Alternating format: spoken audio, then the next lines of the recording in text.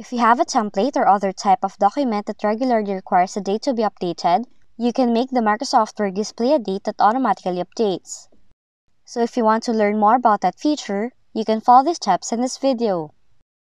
Now first, launch your Microsoft Word on your device and then open any document or the document you're currently working on. Then, place the mouse cursor in the area where you would like the date to appear. Select the Insert tab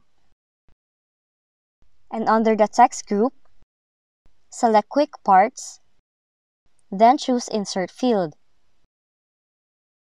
In the Categories window, you have to select date and time. So all you have to do is select the date and time format that you would like in the Date Formats box.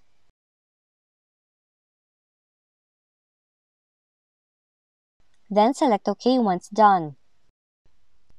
Now the date will be inserted into your document and it will update automatically based on the selection you made whenever you open the Microsoft Word document.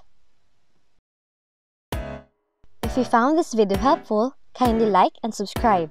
You may also click and turn on the notification bell so you can be notified from whenever we release new videos.